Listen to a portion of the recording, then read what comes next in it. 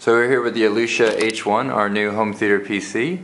This has a Atom 330 processor. As you can see, it's extremely tiny. It can fit in the hand. It also has a VESA mount kit to put it behind the monitor. We have a 19-inch monitor here, and we've loaded up with Ubuntu and Flash 10.1, which should work in high definition because of the Ion chipset. But as we're about to see, it's still pretty jittery. Uh, so this is the Transformers 2 trailer. It's uh, playing at 1080p and you can see that we're getting you know CPU frame rate of like uh, 2 per second and uh, as you can see with the system monitor there everything's maxing out. Now if we try that at 720p things get a bit better.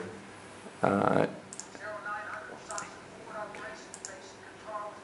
but really Flash is uh, optimized for Windows and does not play particularly well on Ubuntu. Uh, so now you can see CPU utilization is dipping down to an acceptable level. It's, everything's still kind of maxed out.